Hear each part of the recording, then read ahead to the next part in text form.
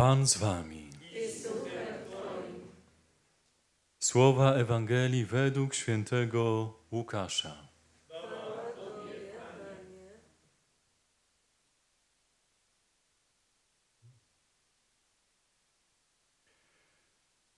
Jezus przyszedł do jednej wsi. Tam pewna niewiasta imieniem Marta przyjęła go w swoim domu.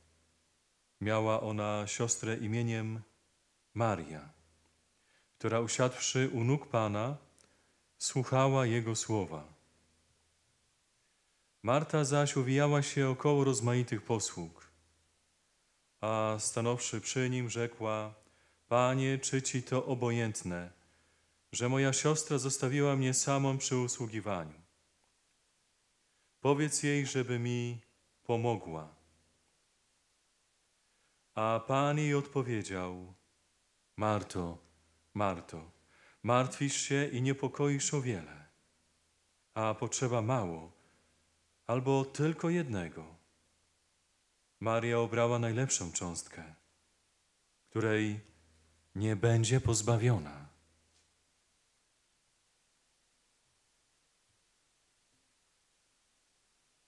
Oto słowo Pańskie.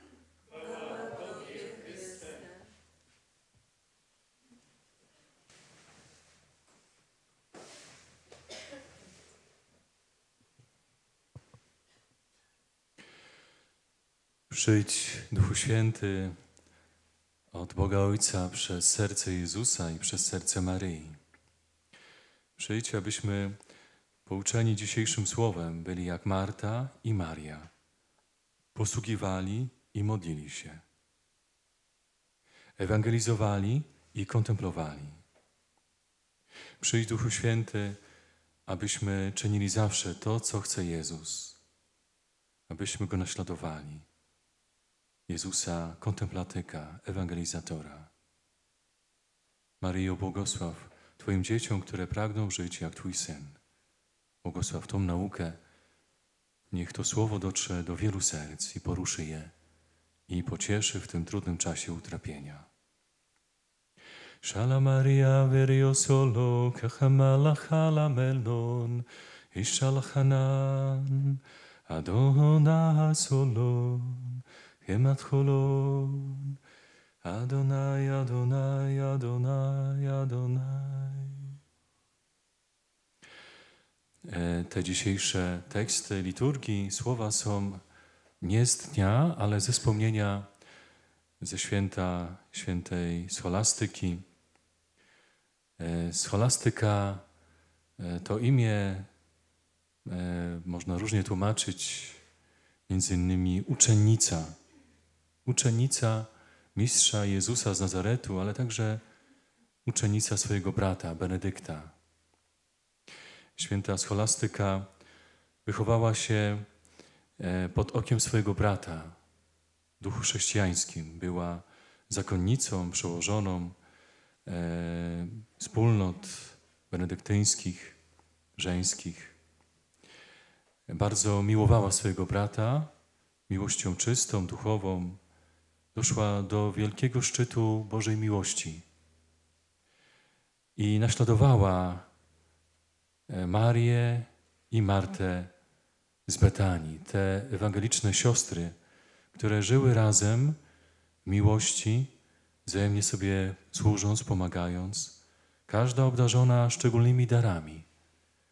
Pan Bóg daje nam różne dary, charyzmaty, umiejętności, talenty, aby je rozwijać dla dobra wspólnego, ale przede wszystkim dla budowy Kościoła, dla budowy niebieskiego Jeruzalem, bo każdy, tak jak żyje tu na ziemi, tak również będzie żył w Królestwie Niebieskim chwałą i miłością Jezusa.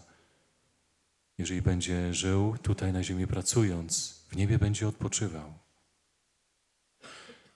Te e, więc kobiety symbolizują e, posługi w Kościele, Modlitwa, kontemplacja, ewangelizacja, służba. Marta to kobieta oddana służbie, posługiwała, starała się o dom, Dbała o to, żeby Pan Jezus czuł się w nim dobrze, żeby mógł e, odpocząć, posilić się, napić. E, uwijała się koło rozmaitych posług. Dobrze było Panu Jezusowi w domu tych sióstr. Bardzo je miłował. Te siostry były Jego duchowymi siostrami. E, były Jego duchowym rodzeństwem. Prawdopodobnie były w wieku Pana Jezusa. E, obie miłowały Pana i każda czyniła to, co mogła, aby e, Pan czuł się dobrze w tym domu, aby czuł, że one go przyjmują nie tylko do domu e, materialnego, ale do domu swoich serc. Marta, jak to bywa i z kobietami, które są gospodyniami, są zaradne, są pracowite, nie lubią, jak ktoś się obija, jak ktoś jest bezczynny, choćby przez pięć minut, to zaraz go wzywają do porządku, żeby zabrał się do roboty. I Maria trochę, Marta trochę nie rozumiała swojej siostry, e, dlatego że wydawało się jej, że Maria nic nie robi, bo Maria co robiła? Siadła sobie u stóp Pana i słuchała Jego słowa. Pozornie się wydawać mogło, że nic nie robiła, bezczynna, leniwa. Trzeba ją pobudzić do do roboty, wstawaj, rusz się, mistrz czeka na posiłek, pomóż mi. Powiedz jej, żeby mi pomogła. Interweniuje Marta. Czy, czy ci to obojętne, że jestem sama przy usługiwaniu? Ale Panie nie trzeba, żeby teraz przygotowywać jakąś ucztę na 200 osób, czy jakieś e, wielkie jedzenie teraz. Wystarczy prosty, skromny posiłek, a więc chwila przygotowania takiego posiłku. Nie trzeba robić jakiegoś wielkiego sprzątania. Przecież wasze serca przede wszystkim są miłym mi domem, świątynią. Tam jest mi dobrze w waszych sercach, jest czysto. Wasze dusze pachną. Jest pięknie dzięki mojej łasce. To jest najważniejsze. Więc Marta trochę przerywa też Panu Jezusowi, trochę możemy powiedzieć nieładnie się zachowuje, bo Pan Jezus naucza. Wydaje się, że może nawet tak sugeruje, Panie, Ty też może jakbyś stał i pomógł mi trochę razem z Marią, to by, to byłabym Ci wdzięczna. Tak nie wprost może skierowała te słowa do Pana, bo wiadomo się może krępowała, wstydziła, ale no co wy tutaj rozmawiacie, jakieś roz, rozmówki prowadzicie, nic z tego nie ma. Eee, I teraz pomóżcie mi. A Pan Jezus reaguje z miłością, ale też tak e, zdecydowanie. Pan Jezus wie, co ma robić. Pan Jezus e, przecież wiemy, przez wiele lat w Nazarecie ciężko pracował jako cieśla, a ewangelizacja to jest e, tak naprawdę najtrudniejsza posługa i praca, najcięższa. Nie ma cięższej posługi jak ewangelizacja. Bo tu nie chodzi o wybudowanie domu, czy wykopanie rowu, czy posadzenie kwiatków, czy wydrukowanie książek, czy wymalowanie czegoś, to wszystko jest dobre, tak. Jeżeli to jest dla miłości Bożej, dla dobra wspólnego, czemu nie? Dobre, to, to trzeba, żeby to czynić, żeby wzajemnie sobie pomagać, służyć. Ale ewangelizacja, czyli nawracanie i zbawienie dusz, to jest numer jeden. To jest najważniejsze. To jest posługa, praca, która bardzo pochłania, bardzo mm, człowieka całego E, absorbuje. E, nie można oddać ewangelizacji w taki sposób, przed od godziny tam 13 do, do, do 15 będę ewangelizować, a potem już będę sobie robił, co mi się podoba. Mam ewangelizować nieustannie. To w sensie duchowym, to jest skierowane do duchownych, w tym sensie do ich posługi, ale także do świeckich. Oni też, wy jesteście też umiłowani, do tego zachęcani, powołani wspierać tych, którzy ewangelizują, przede wszystkim kapłanów. E, więc e, ewangelizacja jest wielkim wysiłkiem, dlatego Pan Jezus wiemy, że często nie miał czasu na jedzenie, na odpoczynek, na sen, bo co chwilę ludzie przychodzili, przeszkadzali mu, zabierali czas, ale on e, nie żałował tego czasu dla nich. On był z nimi. On ich miłował. Dlatego Pan Jezus głosi naukę Marii. Głosi słowo, głosi dobrą nowinę. Ona sobie siedzi u nóg Pana, słucha Jego słowa w skupieniu. Ona cała jest nakierowana na Pana Jezusa. Ona nie myśli teraz o myciu garków, o, e, o tym, żeby kłaść obrus, o tym, żeby stawiać talerze, czy sprzątać podłogę, tylko żeby być z Panem. Dla niej nic teraz nie istnieje. Jezus i to, co mówi, to jest najważniejsze. A ona słucha i to jest też rodzaj duchowej pracy. Słuchać. Nic nie muszę robić, wystarczy, że słucham, a to też jest praca. Wiemy, jak często jesteśmy rozkojarzeni, jak mamy problemy ze słuchaniem kogoś i jeszcze ze zrozumieniem w ogóle, jeszcze odpowiedzieć sensownie na to, co powiedział e, czy zapytał, to mamy problemy tutaj. Jesteśmy w takim często rozbiciu, e, mamy problemy z pamięcią, z myśleniem, wypowiadaniem się, z kojarzeniem. E, jak ważne jest słuchać i czasami ktoś mówi, czy ty mnie słuchasz? I może tak być, że tylko trochę słuchasz albo słuchamy a zajmujemy się innymi sprawami. Myślimy o wszystkim. A ona słuchała Pana całą sobą, jakby stała się jednym słuchem, można powiedzieć tak, jednym wielkim. Czasami ktoś mówi, zamieniam się w słuch. Czyli mam jakby tylko ucho, nic więcej teraz. Czyli słuchać, wysłuchać. Czyli tym żyć, czyli to przyjąć, czyli to potem wypełniać. A Marta niechcący teraz przeszkadzała. E, I czasami może być taka pokusa, e, żeby już nie modlić się, tylko właśnie inne rzeczy wykonywać, które wydają się ważne. Najpierw modlitwa, najpierw bycie z Bogiem.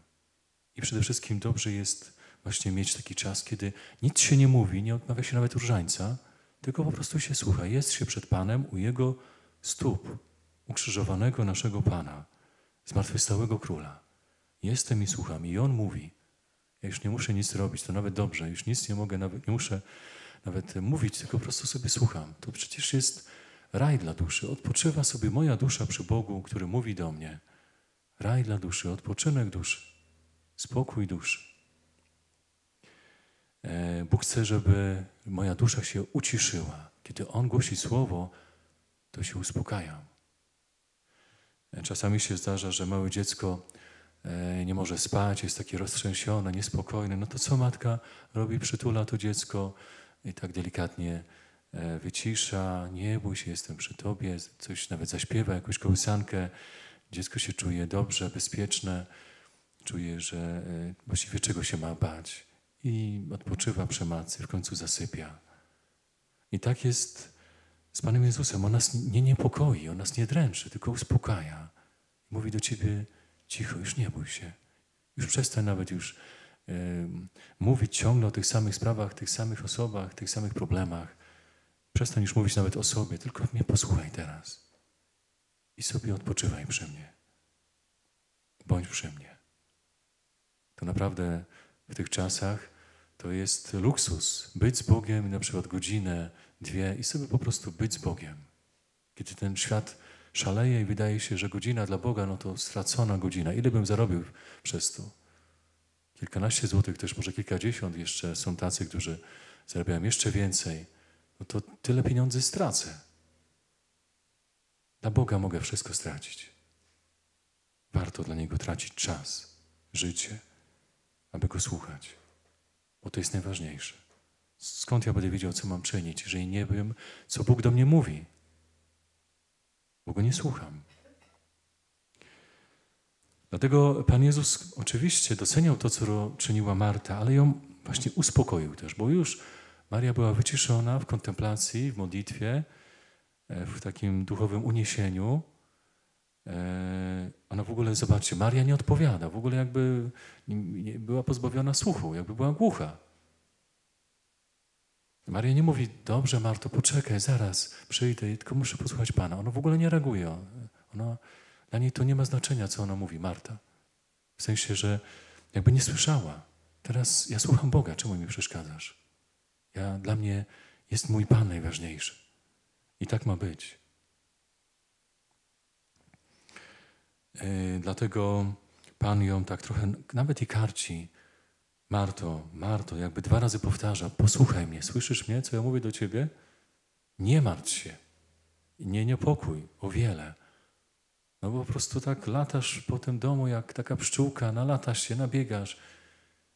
A teraz sobie już usiądź. Zostaw to wszystko, usiądź przy moich stopach jak Maria i po prostu mnie zacznij słuchać. Nic więcej już teraz nie rób. Taka pokusa działania. Muszę działać, działać, działać. Będzie dla Pana wszystko. Dla, muszę zrobić. Wtedy będzie dobrze. Pan będzie zadowolony. A Pan chce, żeby już teraz nic nie robić. W tym momencie teraz masz tylko Go słuchać, milczeć i być z Nim. I to jest wszystko. I to jest miłość. I to jest najważniejsze. Miłość, która się w taki sposób wyraża, w kontemplacji. Więc nie martw się, nie niepokój się, odwróć te zmartwienia, te niepokoje, bo potrafią nas różne zmartwienia, troski tak umęczyć, tak po prostu zadręczyć, że nie myślimy właśnie o Bogu, o Jego sprawach, tylko myślimy o tym, co nas męczy, o tych, którzy nas męczą też. O wszystkim, co nas męczy. I ciągle na modlitwie, gdziekolwiek jesteśmy i nie możemy zasnąć, bo nas męczy to i jesteśmy niespokojni, martwimy się. To, co powinniśmy uczynić danego dnia, uczyńmy oczywiście. Co możemy, co Bóg chce ale resztę oddajmy Jemu. Te zmartwienia, te niepokoje, to, co Cię teraz dręczy, oddaj Jemu. A potrzeba to, co najważniejsze. Pan Jezus nazywa to mało. Tak, oczywiście e, trzeba to rozumieć, to, że to, co dla ludzi jest mało, to to jest dużo w oczach Boga. To jest wszystko w oczach Boga. Pięć minut dla Boga jest ważniejsze niż cały dzień działania dla tego świata. To mało. Wystarczy, żeby chociaż te pięć minut Bogu ofiarować, ale ofiarować Mu serca, słuchać Go, być z Nim. A to jednocześnie jest właśnie bardzo, bardzo dużo. To jest to jedno. To jest ta najlepsza cząstka. E, tak jak, e, przypuśćmy, w torcie jest część najlepsza, najsłodsza, najpiękniejsza, główna, e, to coś podobnego jest w życiu dla Boga. Jest taka część, taka, albo taka właściwie cząstka. Dla świata to jest cząstka, a dla człowieka, który tym żyje, to jest wszystko. To najlepsza cząstka to bycie właśnie z Nim, dla Niego, dla miłości Boga, dla miłości też Maryi, z Maryją. I ta cząstka nie będzie pozbawiona tym ludziom, którzy o to proszą i chcą właśnie być przy Bogu jak, jak Maria. Pochwalił Pan Martę, trochę skarcił, ale przede wszystkim pochwalił, wywyższył Marię. To jest najważniejsze w Kościele. To jest najważniejsze w Twoim życiu. Być najpierw jak Maria, potem dopiero jak Marta. I dlatego też zachęcam, żebyśmy sobie wzajemnie nie przeszkadzali w modlitwie, bo się zdarza, że ktoś się modli, a ktoś komuś tak przeszkadza, no, pyta, zaczepia i w ogóle właściwie trochę jakby bez sensu. I takie sprawy mało ważne albo w ogóle nieważne. Dlatego tutaj też trzeba takiej yy, roztropności. Jeżeli coś jest naprawdę ważnego, bardzo, no to, to może komuś, przepraszam, prze, że cię przeszkadzam, ale jest coś bardzo ważnego, musisz o tym wiedzieć, yy, trzeba coś zrobić, no to są wyjątkowe sytuacje. Ale i to wtedy y, można uczynić, komuś przerwać modlitwę, bo, bo są jeszcze też bardzo ważne sprawy do uczynienia albo właśnie do przekazania. Ale jak nie ma takich ważnych spraw, tylko są po prostu głupstwa i można to poczekać, y, y, dopiero jak ta osoba po prostu się pomodli, być cierpliwym, a ktoś jest niecierpliwy, no to to jest takie przeszkadzanie jak Marta. Wstań, już rusz się, już coś zrób. E, I, i to trochę jest no, taka niedoskonałość wtedy, taka słabość. E, przyznam, że e, ja też rozumiem, jak czasami mi tam osoby, jak się modlę, zaczepiają i proszą i mają różne sprawy, no ale czasami się zdarza, że naprawdę to są takie już głupstwa i, i, i spokojnie można poczekać, przecież, przecież to nie ucieknie z tą jakąś sprawą, która się okazuje, że dla tej osoby to jest naprawdę jak, nie wiem, wylądowanie kosmonautów na Księżycu. E, a to jest po prostu no, błaha sprawa. No, taka, no, można sobie porozmawiać później, po, E, zapyta e, coś, dobrze odpowiem, no ale, no ale nie teraz. No i, I, i, no i są takie sytuacje, nie będę może tutaj za dużo mówił i mówię, Panie, daj mi cierpliwość. Ja chcę skończyć tę modlitwę, no zobacz po prostu. A tutaj Marta przychodzi do mnie teraz, no i nie, nie mogę. I zaczynam różaniec i po prostu za nim, i pół godziny rozpoczynam różaniec. I nie mogę. Dopiero wierzę w Boga, z trudem odmawiam. I jeszcze nie dokończyłem. Więc oczywiście ta troska o duszę i te sprawy związane z ludźmi są ważne, ale właśnie najpierw miejmy też najpierw takie pragnienie Bóg, a potem wszystkie sprawy, które według kolejności są ważne, mało ważne, a potem na końcu głupstwa sobie zostawiamy jeszcze. Więc to tak y, wzajemnie sobie, żeby też to e, tak sobie pomagać i sobie nie przeszkadzać i, i też doceniać to. Modlitwa naprawdę to jest spotkanie z Bogiem, tak żeby wiedzieć, On teraz ma audiencję u Boga, ona. No to ja nie mogę teraz, przerywam, Boże, y, siostro, bracie, co wy teraz robicie? Rozmawiacie ze sobą, ja teraz mam ważniejsze sprawy. Nie, to jest audiencja u Boga. Ona czy on rozmawiają z Bogiem. To jest bardzo ważne. I może teraz dokonują się niezwykłe rzeczy między y, tą duszą a Bogiem. Dlatego nie trzeba tego przerywać. I taka jeszcze historyjka z życia świętego Franciszka z Asyżu, to był wielki święty, no ale też miał swoje słabości, był niecierpliwy. Raz udał się do swojego brata, takiego, którego bardzo cenił, człowieka modlitwy, kontemplacji, Bernarda e, z Quintavalle. I e, to był jeden z jego towarzyszy, bardzo taki też właśnie Boży człowiek. Bardzo kochał Franciszka, swojego duchowego ojca, chociaż był starszy od niego. I był w pustelni w tym czasie i bardzo gorąco się modlił i Franciszek właśnie chciał go e, odwiedzić, porozmawiać, pomodlić się. No i przychodzi do jego pustelni, puka, nikt nie odpowiada, puka drugi raz nikt. Potem no, Franciszek trochę się zdenerwował i właściwie zaczyna trochę walić w te drzwi.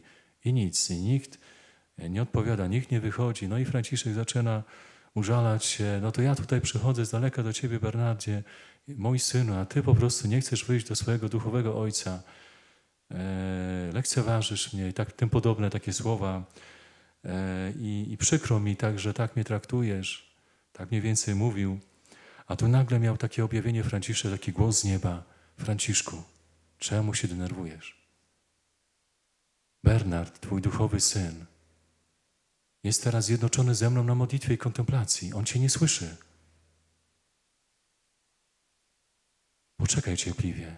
Kiedy skończy się modlitwa, kiedy skończy się kontemplacja, którą mu udzieliłem, wtedy przyjdzie do ciebie.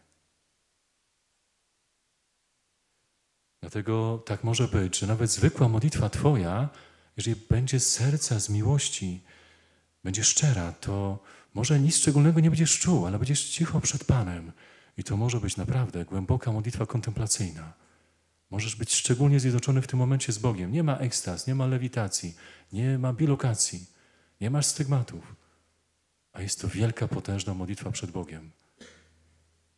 Na zewnątrz wydaje się, że, że nic się nie dzieje, że ty normalnie zachowujesz się, mrugasz oczami, może nawet chrząkniesz, wypróżniasz nos, wydaje się, nic się nie dzieje, a, a ty się modlisz. I Dan daje ci łaskę kontemplacji, o której nikt nie wie, nawet ty sam. E, Solastyka, jeszcze na końcu do niej wrócę. E, na kilka dni przed śmiercią spotkała się ze swoim bratem Benedyktem, jego współbraćmi e, w pewnym miejscu e, między jej klasztorem a jego klasztorem na rozmowach duchowych i cały dzień rozmawiali ze sobą, a ona chciała, żeby on jeszcze został nawet do, do rana. Chciała z nim rozmawiać, modlić się ze współbraćmi. Miała taką potrzebę duchową, karmienie swojej duszy. Tym bardziej, że gdzieś tam czuła, że zbliża się jej śmierć.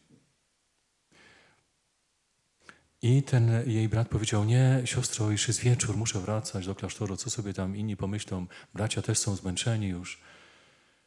I co ona zrobiła? Pochyliła się nad stołem, zaczęła się modlić i za chwilę rozpętała się tak straszna e, burza e, nad tą okolicą, taka straszna ulewa i grad, że Benedykt chciał wyjść ze swoimi braćmi nie byli w stanie ruszyć nawet o pół metra od tego miejsca, tego domu, w którym byli.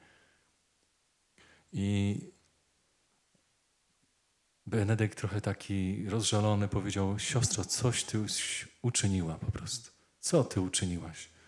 Nie mogę teraz wrócić przez ciebie. A ona na to, wróć jak chcesz. W końcu został i zrozumiał, że to było wolą Bożą, żeby jednak e, zostali, że to były dobre rozmowy, piękne modlitwy, ubogacające, wzajemnie umacniające. I żeby nie patrzeć na względy ludzkie, co inni pomyślą teraz, co bracia pomyślą. Przecież jest ze swoją siostrą, ze współbraćmi. Wszystko jest piękne i dobre. I całą noc rozmawiali. Dopiero nad ranem burza się skończyła yy, i dopiero wtedy wrócili. W jednym momencie wszystko wyschło, nastała piękna pogoda, słońce. Więc Bóg spełnia pragnienia e, tych, którzy proszą o pokarm Boży, o Słowo Boże, o mądrość, o Słowo mądrości. Jak ktoś ma taki dar mądrości słowa, to musi głosić Słowo, nie może milczeć, żeby karmić tych, którzy są głodni, aby nakarmić ich duszę. Dlatego tutaj też, tak znowu też e, powiem o tym, że ja nie mogę zamilknąć. Niektórzy chcą, żebym milczał. Ale jak Bóg będzie chciał, to przyjdzie burza, będzie gradobicie i wtedy zobaczymy, co jest od Boga, a co nie. Więc moim obowiązkiem jest mówić każdego dnia, mówić do dusz, karmić ich, tak jak Benedykt scholastykę. To jest wolą Boga.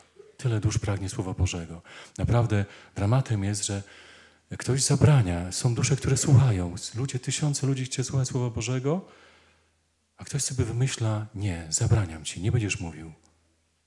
Jeszcze rozumiem, jakby byli, było, byli ludzie, którzy nie chcą słuchać i no to wtedy nie ma sensu mówić Słowa Bożego, no bo, no bo ludzie po prostu to zlekceważą, będą bluźnić, sprzeciwiać się. Ale jak tylu ludzi pragnie Słowa Bożego i mówić nie zabraniam, to w imię czego? W imię kogo? Zabraniać ludziom słuchać Słowa Bożego, nawracać się i zbawiać? Niepojęte. I na końcu też takie świadectwo związane z tą naszą sytuacją. Nie chcę też tak za dużo o tym mówić, za często. Dużo już o tym powiedziałem. Uważam, że to było moim obowiązkiem. E, I jestem świadomy odpowiedzialności za te słowa, które wypowiadam przed Bogiem, w imieniu Boga. Ale też takie e, takie małe, może trochę też mm, e, pouczenie, ale bardziej też e, Was umocnienie, e, żebyście się nie bali, bo niektórzy ludzie mogą Was zastraszać, przerażać. I powiem, że jedna siostra z naszej wspólnoty otrzymała telefony od kapłanów, którzy mówili, jeżeli będziesz w tej wspólnocie, jeżeli będziesz pomagała ojcu Danielowi, to będziesz ekskomunikowana. Wyobraźcie sobie, już niektórzy ludzie dochodzą do, niektórzy księża dochodzą już do takiej po prostu śmiałości, desperacji i szaleństwa. Może powiedzieć naprawdę yy, mafia kościelna, masoneria kościelna, no działa, uaktywnia się. Oni są w jakimś przerażeniu, w jakimś obłędzie. Dlatego nie dziwcie się, jeżeli ktoś wam tak może powiedzieć albo zadzwonić do was. To się uśmiechnijcie. Ha, ha, ha. Nie boję się jakiejś ekskomuniki. Ty mówisz, że się jeszcze ekskomunikował księże? No to śmiało, proszę, ekskomunikuj mnie teraz. E, nawet każdego dnia przez wszystkie dni roku możesz mnie ekskomunikować, jak ci się podoba. Nie bójmy się. To to y, świadczy o jakimś właśnie takim absurdzie, jakimś obłędzie. Y, o jakimś przerażeniu tych ludzi, że się ich ruszyło, że się o nich mówi, że się objawia ich nieprawości, że się po prostu objawia ich zepsucie dla ich nawrócenia i zbawienia. Oni są tym przerażeni. Bo myślą, że jak nas prześladują po prostu tak, jakby człowieka, który ktoś na ziemię powalił go kopie, a ten się broni jeszcze i mówi, no nie kop mnie, no to wtedy oskarżasz mnie, atakujesz mnie? No bo, a ja się bronię, mówię, no ale nie rób tego.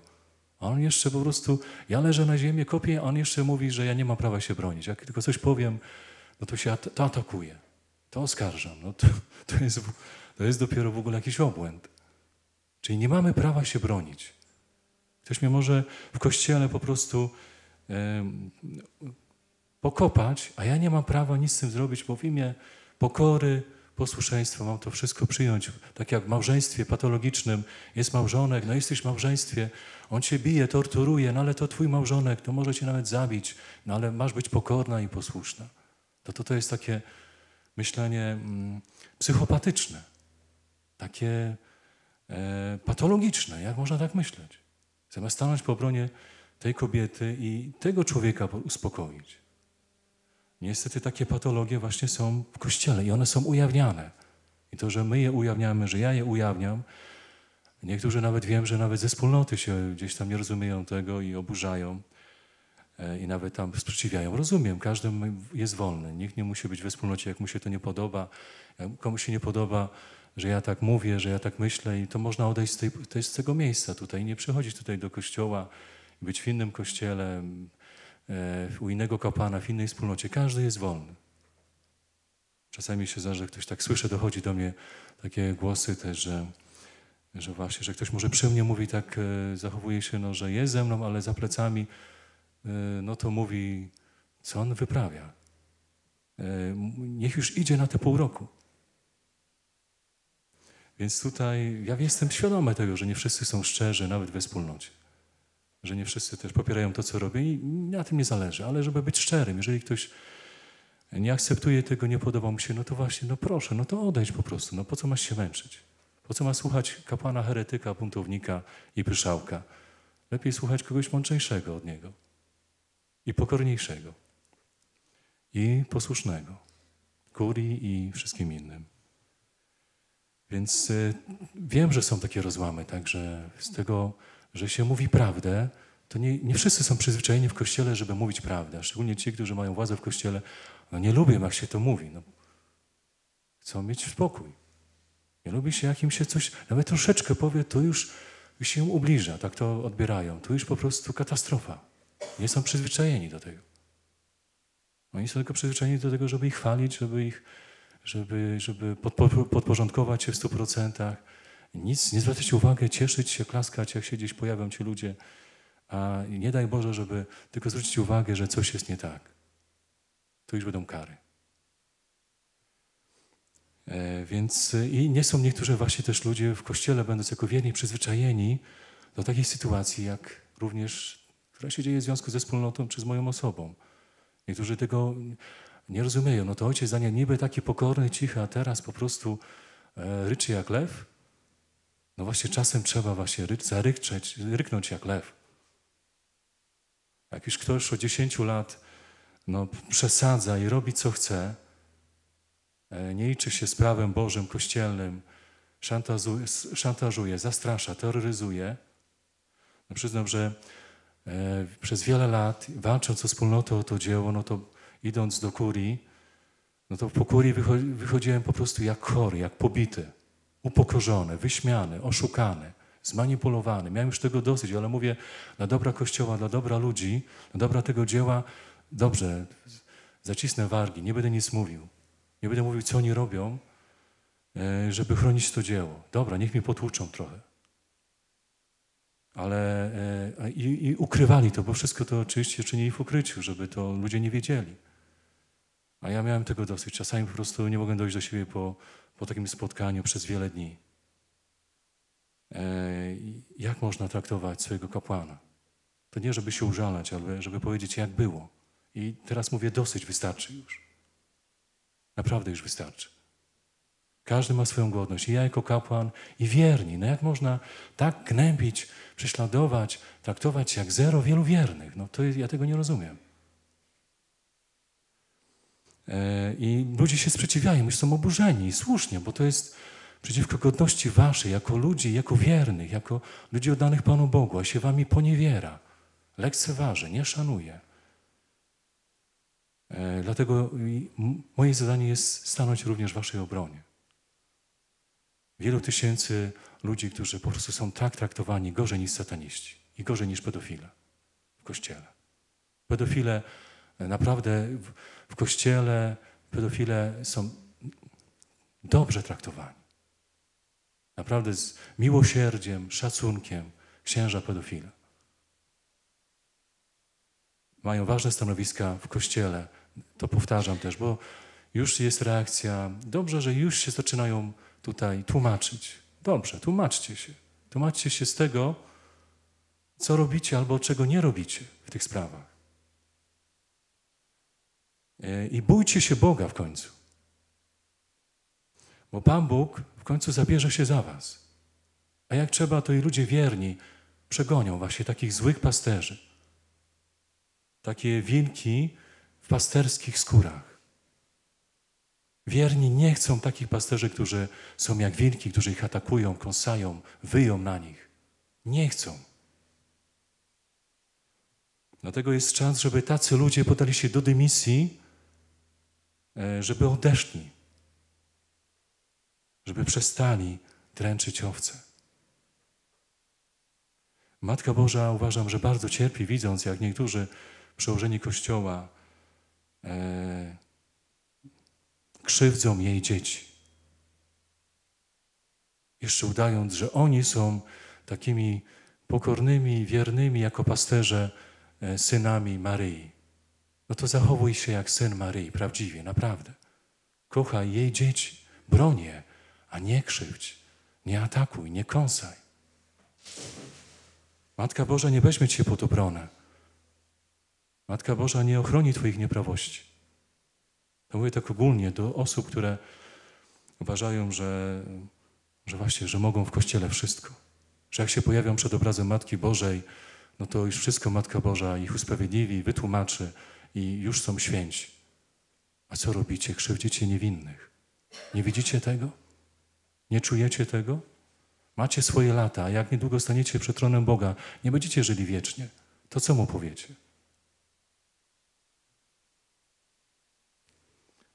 Także to są mocne słowa, ale w oparciu też również o to, co powiedziałem, e, właśnie, że dzwonią niektórzy księża i straszą.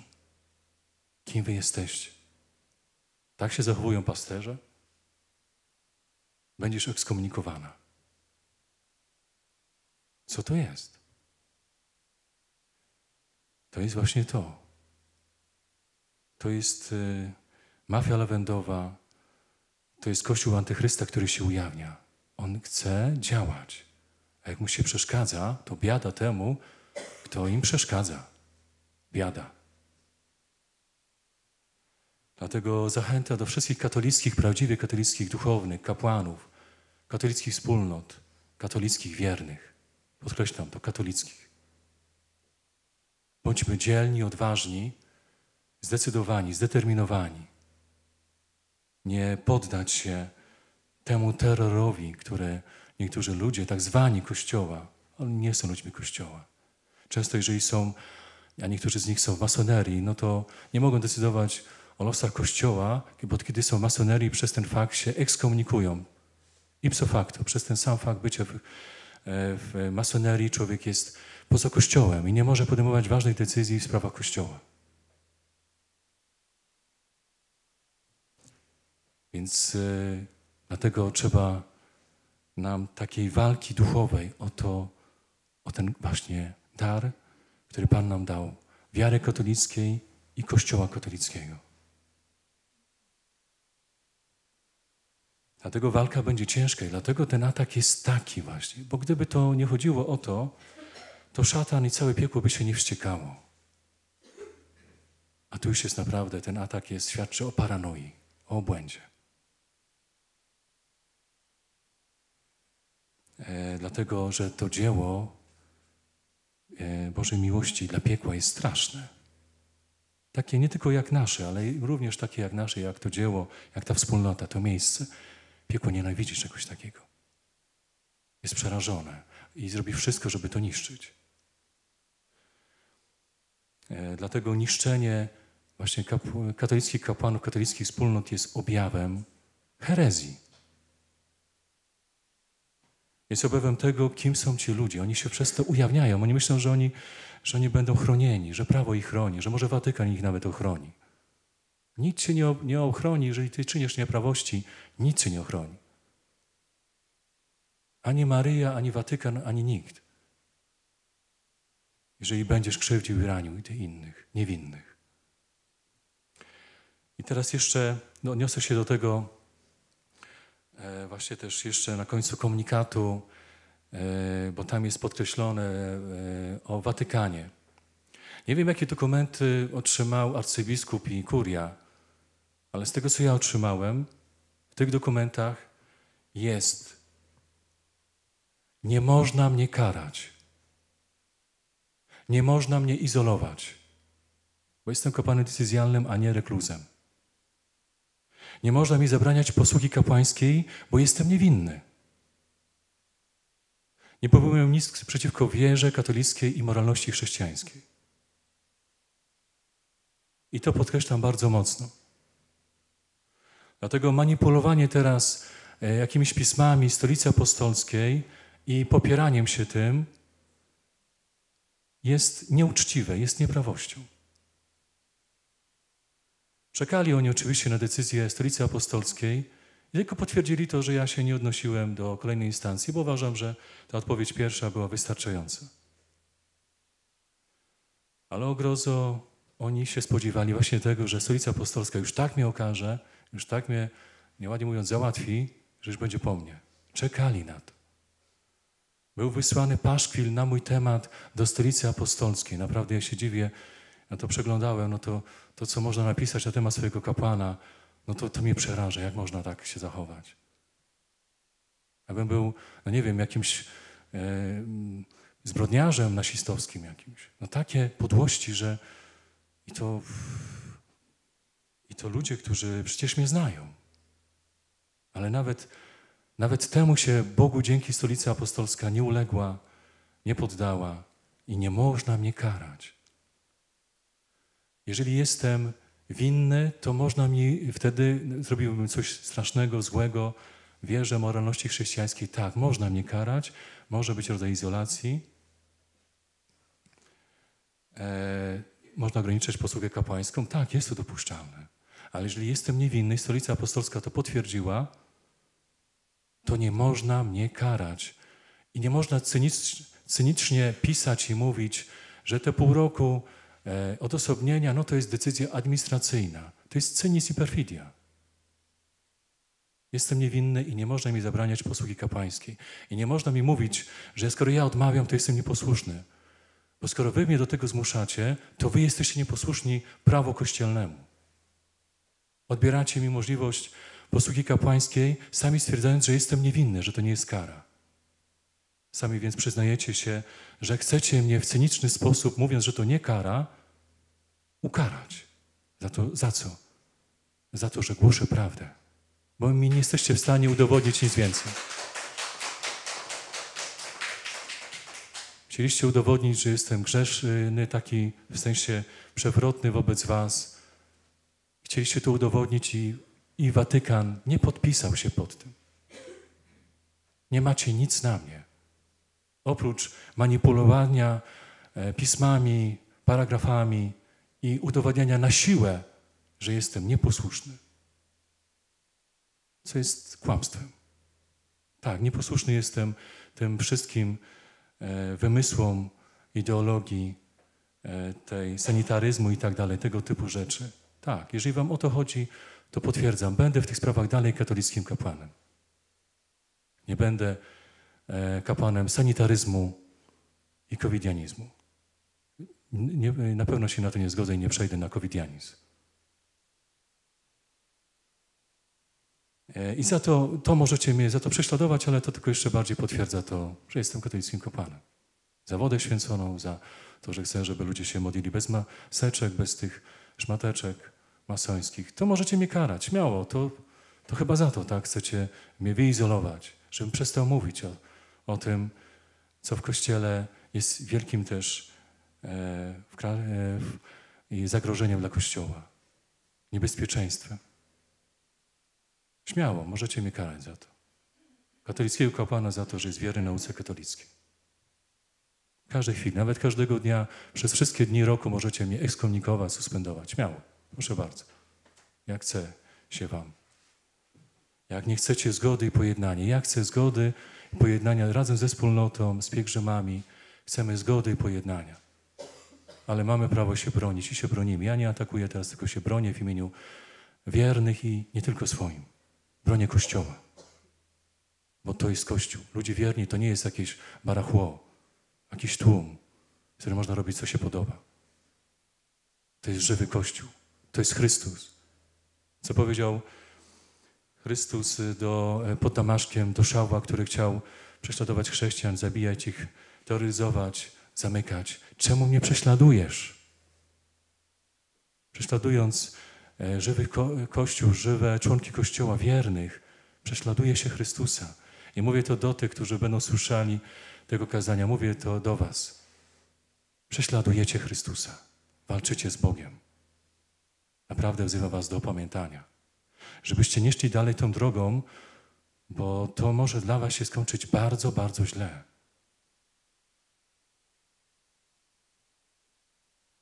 Uważajcie na to. Jeżeli się nie nawrócicie, wy potrzebujecie nawrócenia. Przestańcie dręczyć ludzi. Opamiętajcie się. Zacznijcie im służyć. A jak nie potraficie tego robić, to odejdźcie, podajcie się do tej misji z honorem. I powtórzę to, co mówiłem w sobotę. Idźcie na pół roku odosobnienia przy, przede wszystkim. Przynajmniej. Albo rok. Odpoczynku, pokuty, ciszy, spokoju, bo jesteście przepracowani, widać, przemęczeni. Nie słyszycie głosu Ducha Świętego. Kierujecie się urazami jakimiś, nie, jakąś złością, chęcią zemsty. Po co to? Zerwicie z tym. Kierujcie się miłością miłosierdziem, tak jak do księży pedofilów. Przynajmniej tyle okazujecie na miłości i miłosierdzie, jak do księży pedofilów. Nie prosimy o więcej. Przynajmniej tyle. Tak jak ich zostawiacie w spokoju w ramach miłości miłosierdzia, to nas w ramach tej samej miłości miłosierdzia, jaką macie do nich, do księży pedofilów, miejcie przynajmniej do nas. Wystarczy nam tyle. Amen.